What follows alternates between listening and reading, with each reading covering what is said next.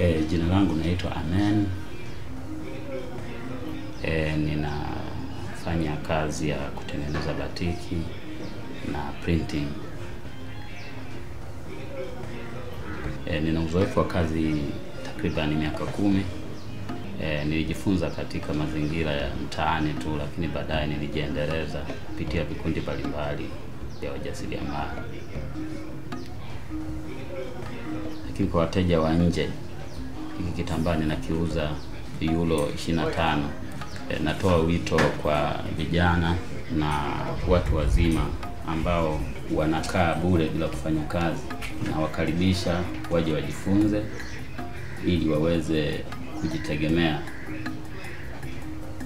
kwa sababu maisha e, bila kufanya kazi yana hatari, kwa sababu sasa hivi kuna maambukizi ya gonjwa la ukimwi. Ukikaa bure mitaani bila kazi, rahisi kupata matatizo na kupata vishawishi vingine. Hivyo ninatoa wito kwa watu wote waweze kujiajiri wenyewe kama ambavyo nafanya mimi hapa.